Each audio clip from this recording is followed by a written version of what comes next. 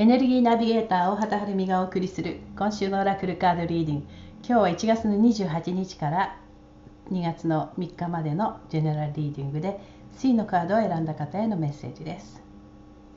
はい、C のカードですけど49番のゴデスマヤ and Ruby Aura Quartz というのが出ていますね。Searing Presence というタイトルがついてるんですけれども見ます？綺麗ですよね。オーラルビオーラクォーツというのは私これも持ってないんですけれどもえっ、ー、とえっ、ー、とねえー、そうですね。ちょっとこのクリスタルゴーデスカードのここあの本のここにこのこれそうなんですよね。こういう、え、ルビーのような真っ赤なあの、えー、色をしたクリスタルですけれども水晶ですけどあの水晶の中にはねあの天然の水晶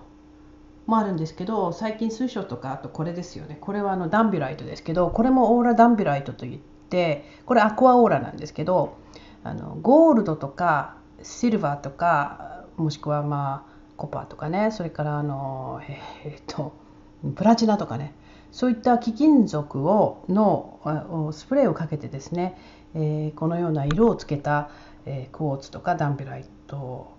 があるんですね。でこういったあのちょっとトリートメントしたあのコーツっていうのは小さくてもものすごい特殊な波動を持っててそれなりにすごくパワフルなものがあるんですね。で私はこのあのアクアオーラダンペライトはたまたまご縁があって、えー、一つ持ってるんですけどもこのルビーの方はまだ持ってないんですがあの、えー、まあ、えー、そうですねまたもしトゥーソンに行けてご縁があればこのアクアじゃなくてあのルビーオーラコーツも私のところへ来てくれるかもしれませんけれども、えーね、このカード Searing Presence っていうのはちょっと日本語にするの難しいんですけど Sear っていうのはあの焦げつくようなとかあの焼け尽くすようなとかという意味なんですね。で Searing Presence ですから Presence っていうのはまさしく今この瞬間の目の前で起こっていることですよねだから今ここでに焦げつくような焼き付くようなつまりこの今目の前にあることに集中してじっとそこにいること現実をしっかり見ていくこと、うん、見るというか感じるというかねそれをあの表している言葉です。でまああのちょっとこのえっ、ー、と何でしたっけ、えー、オラクルあのクリスタルマンダラオラクルカードというのは結構あの一つ一つの意味がすごい深いんですね。でここにあのいろんなあのエンジェルとかゴーデスマヤとかっていうのも書いてあるんですけどあの、まあ、マンダラカードのまあ、あのなていうんですかね解説書には詳しくはあまり載ってないんですよ。で実はこれをしっかり本当に深いところまで読もうと思うと理解しようと思うとあのアラナ・フェアチャイルさんの、まあ、私もあの、えー、セミナーを受けたんですけど、まあ、いくつか種類があって私全部はまだ終了しないんですけどこのクリスタル・ゴーデス88とかですね444333というあの本が3冊ありましてそれが全部このマンダラカードになっているんですよ。でそこをしっかり読み込んでいくとあの彼女の方で、ねえー、この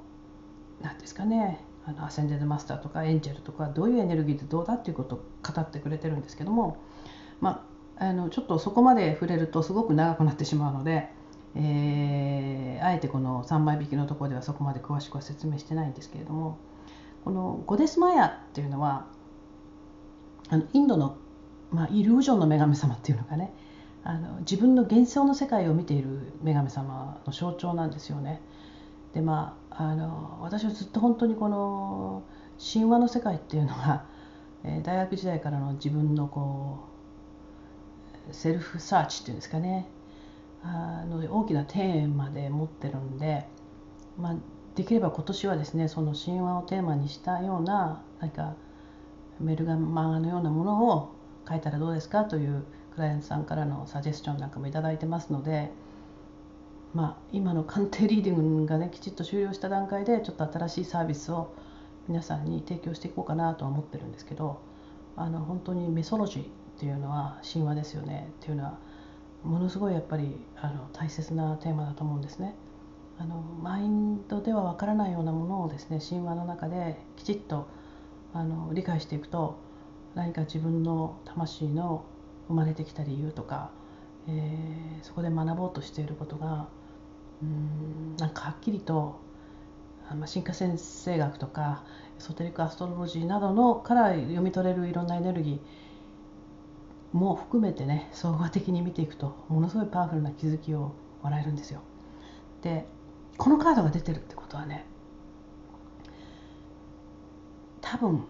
このカード引かれた方は今いろんまあ、まあ、今本当にすごいあの気づきのエネルギーたくさん出てまして新しいブランドニューのスタートをするために、えー、やっぱり自分たちのこのものの見る見方、えー、ずっと進化先生学的に言うと月がずっと培ってきたあパーセプションものの見方のレンズに気づいていくことをしっかりと意識的にね今まで無意識にものを見ていた世界を見ていた自分のそのレンズをですね気づくことによって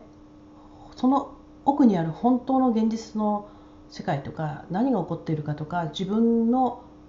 心の内側の気づきの世界をしっかりと見せてくれるようなことが今起こってるんですね。でそのことにしっかりと取り組むでらっしゃる方がこのカードを引いてると思うんですよ。あのねうんどこまでうまく説明できるか分かんないんですけどあのー、ちょっとですねこの彼女の本の中でこういう絵見たことありますか？この絵ですね、えー、結構有名な絵なんですけどフラメレーションエングレービングというねあの1888年にですねあのフランスで、えー、発行されたあの、まあ、版画なんですけどここにあの何かこうえっ、ー、とね、えー、あの男の人がですねここが世界のこう自分の作ってた限界のベールがあってね太陽があってこうあるそこをなんとかこう登って向こう側に出ようとしてる絵が描かれてるんですね。でこの男性はこのこの幕の外に出てですねベールの外に出て顔と手手が右手がちょっと出て左手の杖が出てはあとこう席を息をついて実はこのベールに包まれた世界が自分の世界だと信じきっていたところで外へ出た時に全然違ったもっと大きな世界があるんだってことを気づいてるようなこういう象徴した象徴された絵なんですけども今こういうことを気づいていきなさいというメッセージだと思うんですねこれ。でまあ実際ねあの私たちがこのニュートラルで起こってる現実の社会をいつも言いますけど私たちは現実はあくまでもニュートラルで起こってるんだけどもいつも私たちのずっと何回も生まれ変わって培ってきたその現実を見ている映写機のレンズである月の心癖で私たちの中にある経験から感じてしまう恐れとか抵抗とかあのそういったことからねあの本当に私たちがしっかりと向き合わなきゃいけないことをですねから無意識のうちにこう離れてね見たくないものを見てないことが多いんですよね。でもこのメッセこのカード引かれた方はね今もう一度勇気を出してしっかりとこの今のこの this moment ねこのプレゼンス目の前の現実にしっかりと浸りきって自分のこのえっ、ー、と向き合ってごらんなさいとそこに、うん、そこから何か大きな真実を気がついていけるでしょうと。でそれがですね皆さんのこれから全く新しく始めるこの9年間のサイクル水亀座の新月から始まる今年の大きなサイクルで自分がこうやって生きていこうといううんハートの腑に落ちるうんハートのデザインをねと向き合う時にとても大切なことだということを宇宙が伝えているんだと思うんですよ。あのちょっとすごく抽象的で分かりにくいかと思うんですけど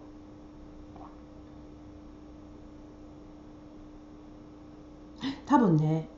自分のそのこの辺ともダブるんですけど自分の内側と向き合うことが大切っていうのは分かるんですけど私たち往々にしてその自分の中の内側を見るときにその自分の中の認めたくないようなシャドウの部分と向き合うことが無意識のうちに怖くなってしまうことが多いんですよね。でも今はそのそういう恐れあを意識した上で勇気を持って喜びでそういう深いところまで掘り下げて自分と向き合ってみること。それがこれから皆さんのが本当にこう自分らしく生きていく時に必要不可欠なとても大事なあの作業だなんじゃないかなと思うんですね。あの確かにそう向き合った時に自分がやってきたこととかしているようなことが、まあ、ちょっと恥ずかしいというかねあの恥とかねあの苦しみとかねなんか許せないとかねそういうあのジャッジメントしたくなるようなことをもう発見するでしょう。私自身もありますよ。過去のね。いろんな自分がやってきたことをね。できればその時戻ってもう一度やり直したようなこともあるんですよね。でもあえてそこにしっかりと向き合ってそこをしっかりと受け取って癒すということ。あのそこの奥まで行く時にすごく辛いんだけれどもそこをあえてしっかりとグラウンディングしながら宇宙とつながってその宇宙の無限の創造のエネルギーと癒しのエネルギーを受け取りながらその自分の目の前に起こっていることとか真実を深いところまで行って向き合う時にねそその今までどうしても自分が受け入れられなかったなぜいつもこういうことを繰り返しちゃうんだろうとかあのどうしてもマインドだけでね、えー、乗り越えようとするとねどうしても壁があるんですよさっき言ったあのベールが。でマインドにとってはとても苦しいことなんだけどそういうことを認めるのは。でもあえてそのマインドの苦しみとか抵抗もちゃんと意識した上でちゃんと受け取りながらあえてこの Searing Presence この今と向き合ってみるこの1週間。本当にねそこと向き合った時に私たちが感じられるのは深いところではやっぱり愛しかないんだなと。やっぱりこのなんか根っこにこう自分で作り上げてきたベールみたいなものとしっかりこう向き合ってその先に行くことをあえてしていった時に多分すごいオポチュニティが来ると思うんですね。深い真実というかね。そのことをアラナ・チャーノさんはこのカードで私たちにメッセージとして伝えようとしてるんだと思うんです。あのやっぱりねあの時々真実って 目の前に立ち上がってあかってしまってね。あの私たちはすごく不安になってしまうんですね。とってもチャレンジチャレンジされた。なんか挑戦されたと。ででもねそこを乗り越えていった時にも本当にもっと深い真実が分かってくると私たちは今度はもっと怖くなる時あるんですね。でもそこを勇気を持ってね宇宙を信じて必ず自分は愛されていてそして私は愛そのものの宇宙のクリエーションと一緒だって信じて一歩一歩今生きることを続けていくとですねある時スッと何かがこうこうポロッと剥がれるようにですね自由になることがあるんですよ。まだ私ちょっとうまく言葉にできないんですけど実際去年1年本当にどうなるか分からない中で自分をさらけ出そうと。自分が愛の存在で生きていけるっていうことを宇宙とつながった自分もそのなんていうかな宇宙とワンネスでつながってる自分がなはずだということを信じてですね試行錯誤しながら本当にトータルサレンダーして一年生きてみてやっと私最近あ本当にそうだなっていうことを感じるんですね。だからちょっとこのカードを引かれた方はあのしっかりねあのあのねこの赤というこのルビーのオーラっていうのは火のエネルギーであり地のエネルギーなんですね。そしてディバインフェミニンのエネルギーなんです。あの1のカードっていうかねこれ49ですから4たす9は13でしょ。13は4になりますよね。あのねあの1っていうのはマスキリンのエネルギーでしょ。それは確かに宇宙のその真理のエネルギーでもあるんだけど時々間違えてしまうとあのフェイクの方に行ってしまうこともありますあのエゴの方に行ってしまうことも、でもこうこの自分からこう外に出していくそのマスキュリンのエネルギーだけでは宇宙にこう自分から向かっていってその宇宙のエネルギーを外に出すだけではこの肉体を持ったあの地球ではですね具現化しないんですよ。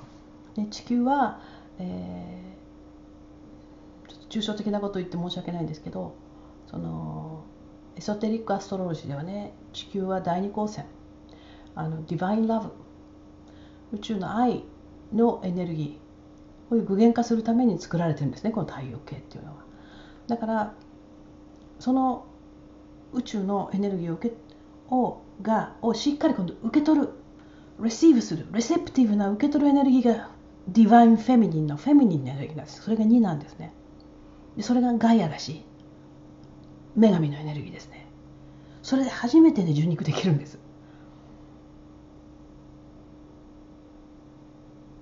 でその陰と陽の統合を恐れもなくジャッジメントもなくもうあるがままに受け入れて自分はちゃんと導かれてディバインなとつながったものを作り出せるエネルギーを持ってるっていうことに気づいていくようなことが今週はとても大切なような気がします。あのそうですねセクシュアリティなんかもすごくこれは感じますね。あのこのルビーの色っていうのは、えー、第一チャクラ第二チャクラと関係してきますよね。であの受肉をするということはやはりあのその魂だけでは受肉できませんからやはりあの男女が交わっていく性的な行為って必要じゃないですかセックスがね。でそれって素晴らしい清いことなんですよ。もうあのなんていうのかなタントリックラブみたいなあのヨガとかはね真剣に組んでいくとねあのそうですね仏教でもそうですねあのお釈迦様はあの、まあ、立宗教というお経がありますねあの空海が持ってきた。これは非常にあの、えーと、天台宗の、えーと、最長が空海に、えー、その立宗教を授けてくれと言った時に空海がそう誤解されては困るということで断ったという有名なお経なんですけども。で、えー、そうですね。あのエコーの時なんかに立宗教というお経を読みます。でそこでですね仏様はその何て言うのかなそのそのピュアなあの性的な交わりというのも非常に清く素晴らしい宇宙の真理そのものだよってことをついてらっしゃるんですよね。だからあのなんかこのカード引かれた方は今までの自分の生き様の中でなんか自分の汚れだとか恥だとかあの自分はあのダメだとかってそういうそういう今まで経験してきたことをこう批判するのではなくてマインドでそこもしっかりこう受け取ってみたその奥にあるその経験を通してしか気がつけなかったような自分の中のピュアな神聖さみたいなもの。そこにたどり着くための癒しのがどのようにして必要なのかっていうようなこととか。っぱり本当に自分宇宙とつながってる自分を100%信頼していくこと。フェイスですよね。フェイスって言うんですけど。そういう深い真実と向き合っていく勇気を今持っていくことであなたは何か大きな気づきを得て新しいサイクルを始めていく第一歩をこうスタートできますよというメッセージじゃないかなと思うんですよ。ちょっとこのカードた多分かなりインテンスで今回すごいですねやっぱりね。あのヒーリングのワークなんかもたくさんあるんですけども、うんえー、実はそんなようなこともこれから、えー、なんかあのそうですね。あのユーストリームかなんかで、えー、できたらいいなと思うんですけどちょっとうまくまとまりませんけどこのカード引かれた方今週はちょっと勇気を持ってですねしっかりと自分の越し方そして今の現実で自分が感じていることを大切にしましょう。自分の体のメッセージをしっかりと受け取ることが大事だと思います。マインドは恐れていろいろ抵抗しているかもしれませんけど自分がこう心の中でなんか抵抗とか辛く感じるようなところこそそこを勇気を持って目を開いてしっかりと瞑想してみるとその奥に何か大きな気づきそういう自分があったからこそ先へ進めるような何か大きな感情の気づきとかね癒しがね起こってくる時だと思います。特にこの水亀座の新月は、えーえー、金星火星が、えー、魚座でカイロンと重なってますね、えー、水亀座の新月の NG ナビでお伝えしてますけどでそこに、えー、24度伊手座の24度で金星が魚座の24度ぴったり90度をとってますのであのこうあるべきだという。ような土星のしがらみから傷ついている金星や火星のこれ非常に男女間のですねリレーションシップみたいなこともそれからそういうセクシュアリティとかね、えー、性的なあのいろんな、えー、なんていうのかトラウマみたいなことそういったこともあの向き合うことでしっかり受け取って大きく癒していけるエネルギーが流れているのであのこのエネルギーをしっかりね使われていくことがね、えー、その満月新月の後すぐに火星も、えー、お羊座に入ってまた新しいサイクルに入っていきますし、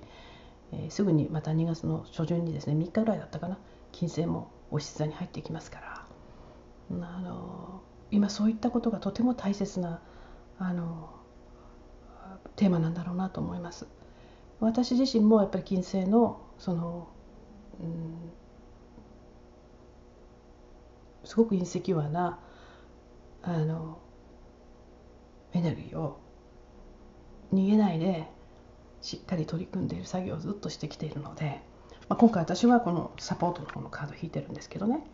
あのすごくあのこの3番目のカードもリソネートします。えーアメリカでもあのトランプ大統領が就任した次の日に女性が世界レベルで声を上げてきてるしねやっぱり自分の中のその男性も女性も女性性っていうのがあるんですけどそこを本当にピュアなねあのあの目でねあの